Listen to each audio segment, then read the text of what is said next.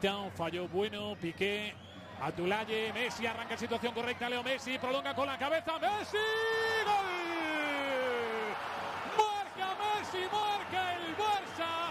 Qué listo es, qué rápido es, qué bueno es, supera todo. El despeje de Piqué, esperando la posibilidad, estando al nivel de la línea defensiva y ahí ganando. Si no me equivoco, el Morcillo quien la habilita, no Atulaye. Sí. Morcillo se queda un poquito descolgado. Eso era Roberto permanentemente la obsesión de Paco Gémez.